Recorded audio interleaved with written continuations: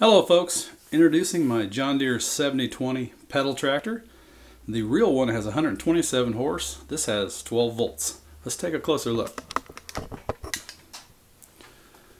I've installed this, it was a 24 volt motor that I've now made 12 volts. I got it, it's got a gear reduction box on it there.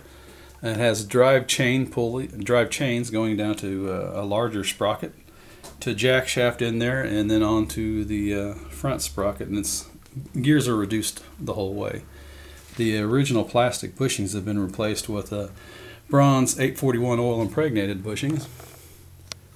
It features a uh, toggle switch, double pole, double throw, that's forward, neutral, and reverse.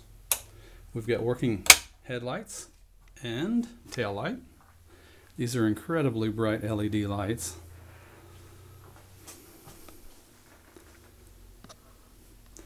And we had to have a horn. Now that horn can be disconnected in a heartbeat for when I get tired of the grandkids blowing it all the time. uh, we've installed aluminum floorboards and let's walk around to the other side. Like I said, that toggle switch is for forward and reverse and they have to push their foot on this dead man switch in order to make it go. So that's a little safety feature I wanted in there they fall off. It's got a uh, 15 amp uh, fuse in it, and I've also got a pigtail right here that I can uh, charge it quick without taking the battery out if I want to.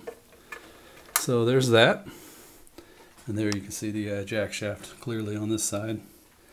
All right, we'll put the front end up on blocks and uh, put it in operation.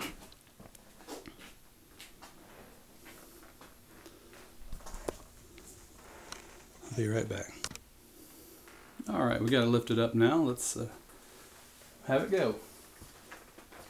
Go. Switch up. Button down.